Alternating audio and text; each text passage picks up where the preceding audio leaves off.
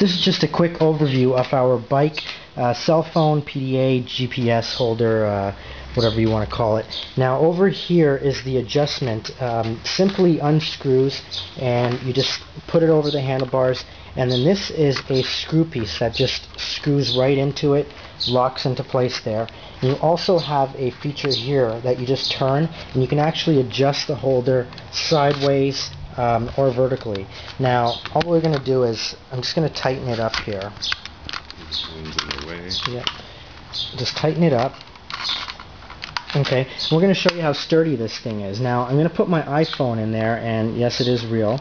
Um, we're going to put it in and lock it into place. And down here are adjustable legs where you can just adjust it to your cell phone. So if it's smaller, just bring it in wider.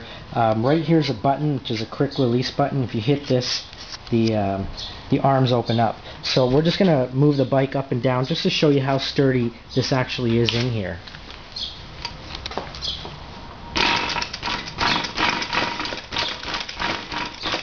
I could take more than that. Come on. Okay, I think we've proven the point. There you go. Still secure in the uh, holder. And uh, that is it. Thank you for taking the time again to view our products. Have a great day.